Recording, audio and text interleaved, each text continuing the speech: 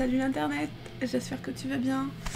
Euh, aujourd'hui, on va parler de ma stérilisation. Il y a un an et demi, j'ai décidé de franchir le cap, même presque deux ans du coup, euh, de la stérilisation parce que j'ai décidé et je n'ai jamais, j'en ai, j'en voulais pas déjà de base, voulu d'enfant et j'ai décidé de franchir le cap parce que c'était une crainte que j'avais, c'était de tomber enceinte. Et oui, il y a des gens qui n'ont pas envie euh, d'avoir d'enfants, tout simplement. Donc du coup je vais te raconter un petit peu comment ça s'est passé, pourquoi j'ai choisi de franchir le cap, et tout, et tout, et euh, les difficultés un peu euh, qu'on peut avoir au niveau de son entourage et, et tout le reste. Donc j'avais fait un petit trade sur Twitter suite à mon opération. Et euh, du coup, euh, mais c'était il y a un petit moment. Et je vois encore que j'ai vachement d'actualité vis-à-vis de certaines personnes qui me demandent Mais chez qui t'as fait ça euh, Comment t'as réussi Enfin, genre voilà. Donc je vais vous déballer ma vie sur ce sujet. Donc j'ai toujours refusé d'avoir des enfants parce que j'en voulais pas déjà par certains par principe. Alors il y a par principe parce que je considère qu'on est assez sur terre et que si je dois avoir un enfant, bah, au pire j'adopterai où je ferai famille d'accueil ou autre. Enfin bref, voilà, hein, je suis issue d'une famille de, de 4 enfants hein, quand même. Hein. Euh, déjà, on est assez d'être humain sur Terre. Deuxièmement, j'ai pas envie d'avoir d'enfants. Euh, j'ai pas la patience de m'en occuper. Enfin, moi, je suis admirative des gens qui ont des enfants et qui ont la patience de leur donner une éducation, euh, une bonne éducation. Quand je dis d'être calme avec leurs enfants, de tout leur expliquer et compagnie. Enfin, genre, j'ai pas le temps, j'ai pas la patience, tout simplement. Puis euh, je suis trop à me concentrer sur mon travail et je préfère ça. Euh, oui, mais quand tu seras plus vieille, tu vas te sentir seule, qui va s'occuper de toi Eh ben personne, parce que je m'en bats les couilles. Enfin, genre, euh, je me démerde et je me démerderai. Je me démerde déjà maintenant, et je me démerderai plus tard. Et je sais pas si je ferai des vieux os ou pas, donc on s'en fout. déjà avec ma santé de merde. Voilà. Euh, et ensuite, oui, mais si ça se trouve, euh, ton chéri, ou un jour, euh, tu trouveras le bon, la bonne personne, tu auras envie d'avoir des enfants. Non J'ai juste décidé que je n'en voulais pas, que je n'en voudrais pas. Et oui, mais quand tu vieilliras, tu auras vraiment envie d'avoir des enfants vers la trentaine, tu vas voir. J'ai quasiment la trentaine. Je ne veux pas d'enfants. Genre, en fait, plus ça allait, euh, plus les gens dégoûtaient des enfants, euh, surtout avec ça. Et en fait, je me suis rendu compte aussi, c'est pas que les gens, hein, bien sûr, c'est que je n'avais vraiment, vraiment, strictement pas envie d'avoir d'enfants, pas envie d'avoir euh, quelque chose dans mon ventre vivant, autre que mes organes, que je n'avais pas envie de donner ma maladie, même s'il y a des alternatives pour euh, qu'il ne soit pas malade et compagnie, que je n'ai pas envie euh, sais toute une maternité et tout le barda avec, enfin et genre le partout et tout. Enfin genre non je n'en veux pas, il y a des milliers de raisons et euh, je suis pas une personne faite pour être mère, pour être mère ou père ou autre, ou enfin pour être parent. Voilà, c'est tout, c'est comme ça. Et là, mon métier n'a rien à voir avec de toute façon. Hein.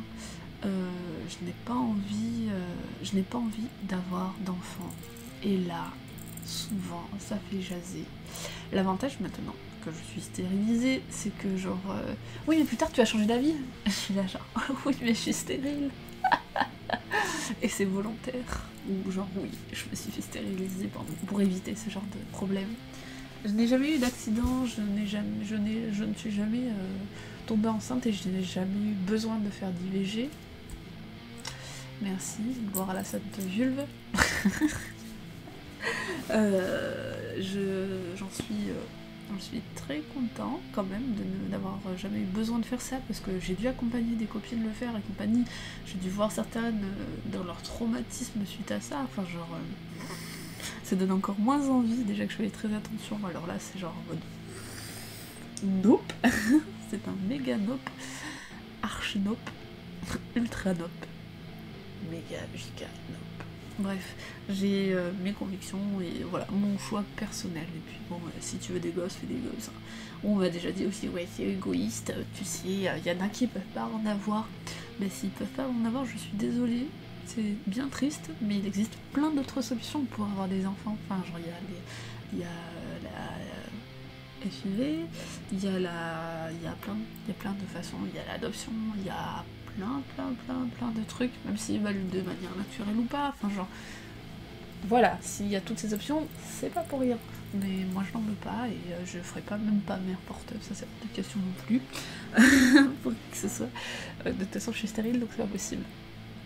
Du coup, ma stérilisation, comment ça s'est passé euh, En fait, je savais pas par où commencer en fait de base parce que genre ouais tu vas te faire opérer et tout mais à qui tu demandes euh, du coup, j'ai regardé sur internet, je me suis renseignée, j'ai trouvé un super groupe euh, sur Facebook qui en, parle. Et là, ce fut la révélation. Je voyais plein de témoignages de gens qui sentaient bien mieux après leur stérilisation, que ça faisait des années qu'ils en voulaient et tout.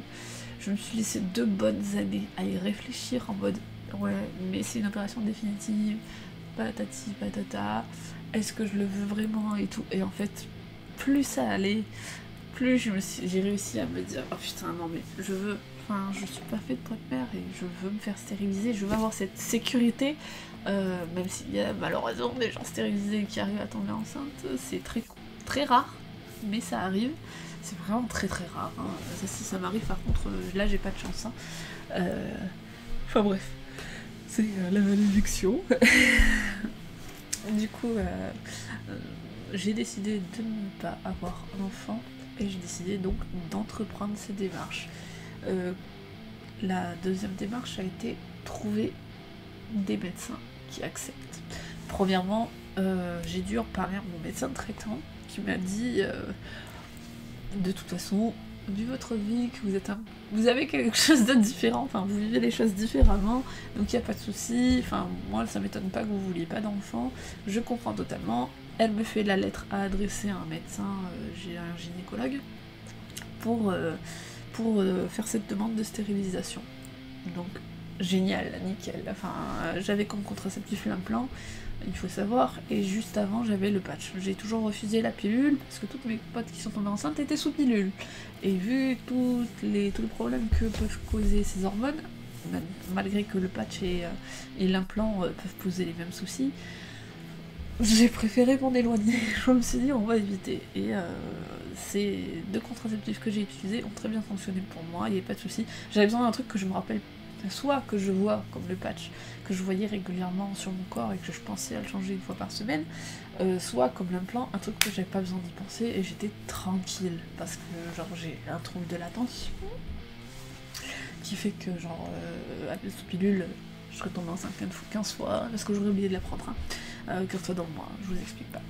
Euh, donc bon, sachant que j'ai l'impression que dans ma famille c'est assez hyper fertile, donc, euh, enfin sauf moi peut-être. Euh, du coup j'ai préféré ne pas prendre le risque. Ensuite, je suis allée consulter une liste que j'ai trouvée de médecins safe en fait, qui ne jugent pas sur nos choix et compagnie, parce que bah oui, les gens ont préféré se protéger et partager une liste comme ça, euh, pour me faire stériliser.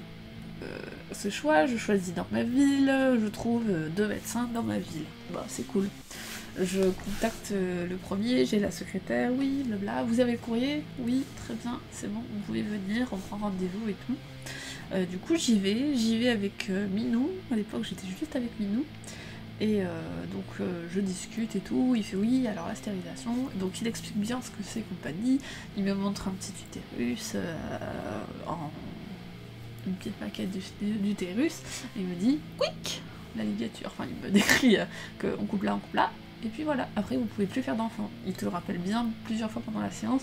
Il me dit je vous demande pas de vous justifier, euh, c'est votre choix. Il y a le délai obligatoire de 4 mois de réflexion et compagnie, donc il explique toutes les choses légales qu'il doit dire, en fait, tout simplement. Et déjà qu'il ne demande pas de me justifier, ça me fait plaisir. Et après, euh, à un moment donné, venu un peu dans la conversation, que mon partenaire euh, allait aussi se faire stériliser parce que lui aussi, il ne veut pas d'enfant. Et là, le médecin nous a dit mais dans ces cas-là, vous n'êtes pas obligé de faire tous les deux la stérilisation. Qu'est-ce que j'ai répondu? On ne sait pas si on va passer tous les deux notre vie ensemble, en fait. Donc du coup, voilà. Et puis bon, donc chacun son corps, chacun ses choix. Donc voilà. Mais bref, il n'a pas été euh, sinon très très correct. Hein. Franchement, ce médecin, merci encore. Et du coup, il m'a dit ça, et quand il me disait comme ça, vous n'aurez plus à. Enfin, vous n'aurez aucune chance d'avoir un enfant, j'avais un sourire béant, parce que vraiment, c'est quelque chose qui me tenait trop à cœur. Et il me dit, bon, ben d'accord, ben écoutez, euh, on se revoit dans 4 mois. Donc, on fixe une date pour le prochain rendez-vous. Et euh, avant la fin des 4 mois, il me dit. Très bien, il va falloir, euh, euh, si vous êtes toujours ok, enfin partante, vous allez pouvoir euh, appeler enfin avoir, avoir un rendez-vous avec l'anesthésiste. Donc, et après, on cale la date de l'opération. Donc du coup, on a calé la date de l'opération. à moi, impossible de trouver de date avec un anesthésiste, parce qu'il disait ah Doctolib, nan, et tout, et impossible à trouver avant l'opération, juste après. Je l'appelle, je fais oui, allô, au secours, j'arrive pas à choper un rendez-vous de vos collègues anesthésistes. Il me dit, ah, vous en faites pas et tout, euh, tenez, appelez euh, ce numéro et tout, et c'est bon, et euh, ou vous avez rendez-vous tel jour à telle heure et tout. J'étais là, genre, très bien, parfait. Le truc s'est fait facilement. Il y a eu juste à vérifier qu'avec mon CED, il n'y avait pas trop de que ça allait pas poser de problème. Et du coup, eh bien, c'était parti en avant Game euh, deux semaines avant moi, euh, Minou s'était fait euh, faire une vasectomie. du coup, voilà, je vous raconte sa vie aussi. Hein, bref, voilà. Donc, je trouve que c'était très appréciable aussi parce que du coup, j'ai pas forcément encaissé la charge de la contraception seule au final. Donc, c'est cool. mais bon, enfin, de toute façon, voilà, comme je dis, hein, on sait pas si on restera ensemble toute notre vie, ou peut-être que oui, peut-être que non, on sait pas. Donc voilà. Et les choses sont comme elles vont. Et surtout qu'en plus maintenant, vu qu'on est en relation polyamoureuse, voilà, comme ça je ne peux pas tomber sur quelqu'un qui va essayer de me coincer, de me dire je veux des enfants de toi. Chose qui m'est déjà arrivée. Et que j'ai failli céder. Où j'ai dit on verra plus tard. Enfin, vous imaginez euh, la pression qu'on me mettait. Du coup, euh, alors que j'avais très bien dit dès le début, genre si tu veux un gosse, ça sera pas avec moi. Genre t'engages pas avec moi si tu attends un enfant de moi en fait. C'est non. Euh, mais on vous connaît, il y en a certains, hein, vous essayez de forcer ou euh, de. Voilà. Du coup, j'ai dit. Euh, donc, du coup, j'ai calé le rendez-vous et tout, et c'était la veille d'un départ en vacances. Je partais une semaine à Barcelone, mais j'avais lu partout que, genre. on était en bon état après l'opération, c'était nickel, genre quelques heures après, en fait en gros ça allait j'ai fait bon, après avoir lu des témoignages, j'ai fait bon, bah vas-y, j'y vais, parce que si j'y allais pas avant le voyage, après ça allait être impossible de caler une date. En plus, euh, ce médecin a commencé à arrêter de stériliser, euh, justement, parce qu'il avait trop de demandes et qu'il avait déjà des patients dont il devait s'occuper. Donc ça devenait compliqué. Et j'ai fait bon, mais vas-y, je le fais là. Ça me fait chier de faire la veille d'un départ en vacances, mais bon, voilà. J'ai fait au pire, bah, je serai PLS euh, dans mon auberge de jeunesse. Du coup, euh, ma meilleure pote m'accompagne et tout, euh, gros stress et tout, c'est une opération ambulatoire. Euh, donc je pars au bloc et compagnie, on essaie de me détendre. Moi et l'hôpital, c'est une phobie, hein, je vous le dis, vraiment, clairement, c'est un traumatisme. mais genre, toute l'équipe médicale a été super, franchement. donc pendant ce temps-là, nickel quoi. Donc j'avais une chambre, j'avais des trucs dans la chambre et tout. Je sors de le. Donc je me réveille. Là, là une douleur monstrueuse qui ne venait pas de mes ovaires, mais en fait qui venait de tout le reste de mon corps. Suite à l'anesthésie, en fait, euh, moi j'ai besoin de tout le temps bouger, d'être en mouvement. Et euh, c'était la première fois que je me faisais anesthésier. Et euh, je croyais que. Enfin, genre, je croyais qu'on dormait vraiment en fait, je ne savais pas. Et euh, en fait, j'ai mal partout à toutes mes articulations. Donc du coup, on m'a donné un peu d'antidouleur. On m'a donné de la morphine, j'avoue. Et en fait, du coup, ça allait mieux, quoi. Enfin, genre, j'avais déjà eu des morphiniques et compagnie. Enfin, genre... Euh, bref, je connaissais. Et du coup, ça m'a fait quand même beaucoup de bien. Euh, donc, suite à ça, ça va mieux. je souffle et tout. J'étais quand même bien dans ma j'avais encore mal aux épaules parce qu'on met un gaz, donc en fait j'avais surtout mal aux épaules à cause du gaz, un peu sur le ventre parce que je pense qu'ils avaient déposé hein, le plateau pour opérer, enfin je sais pas quoi, enfin j'avais un peu mal là. Euh, au niveau du ventre, mais j'avais pas trop mal au niveau des ovaires ni rien, pas plus que ça. Mais euh, et voilà, et du coup donc euh, ensuite je suis ramenée dans ma chambre pendant, je suis gardée pendant 2-3 heures 3 heures quasiment. J'ai pas le droit, toujours pas le droit de manger parce que la veille je devais pas manger aussi euh, avant l'opération et après. Je commence à avoir envie de faire pipi. Moi j'ai une vessie minuscule donc je ne tiens pas sans pisser. Et là, donc euh, j'appelle l'infirmière et tout, euh, et je dis à l'infirmière, excusez-moi, est-ce que je peux aller aux toilettes? Et elle me dit non. Je fais, J'étais avec le sourire et ma meilleure pote à côté et je fais ouais très drôle tu vois genre j'étais en mode très drôle la blague. Je fais mais c'est une blague en fait. Genre je croyais qu'elle rigolait vraiment en mode genre euh, elle, me, elle me fait croire avec sa poker face et tout. Genre euh, des fois j'ai du mal avec le sarcasme donc je me suis dit bon elle rigole. Genre je, suis dans c'est une blague elle me fait bah non non non parce que si vous tombez dans les pommes euh, on est obligé de vous garder euh, c'est la corvée ou quoi, enfin genre on se calme, en fait, genre euh, doucement, juste envie de pisser, je vais pisser dessus, enfin bref, donc euh, non, vous attendez au moins une heure avant d'aller aux toilettes et tout, dans une heure vous pouvez biper, on vous accompagne, et on vous accompagne aux toilettes. J'ai fait très bien, j'ai fait ouais mais ça va, je suis en état, ils font non mais c'est parce qu'on vous a donné de la morphine. J'ai fait oui, mais j'ai l'habitude de la morphine, je connais, je connais mon corps. Ah non, non, vous restez assise et tout. Ah, une heure, donc je papotais ma pote. J'avais juste une terrible envie de pisser, j'en pouvais plus. Je demande, je ressonne, je fais excusez-moi, est-ce que ce serait possible de manger? Parce que je n'ai pas mangé depuis la veille, euh, depuis la veille vers 20h. Euh, il était 14h, je suis un ventre sur pattes, euh, j'ai besoin de m'alimenter. Et puis même j'en ai besoin pour mon énergie, enfin genre voilà, c'est important de manger pour moi en tout cas. Hein. du coup, je me dis est-ce que ce serait possible d'avoir quelque chose à manger? Et là, donc c'était pas la même infirmière qui me regarde avec du mépris, pareil. Euh, non, vous pouvez pas manger, non. et qui s'en va.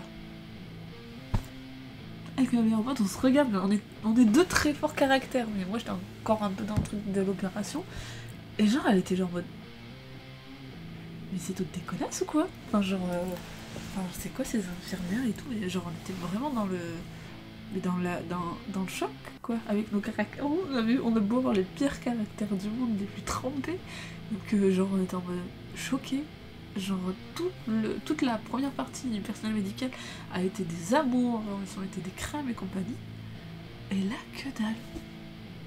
Genre ok, donc euh, ça vient prendre mes tensions et compagnie. Il y en a une, elle voit mes tatouages, donc une qui a été méchante hein, en plus auparavant, euh, celle qui a refusé la bouffe.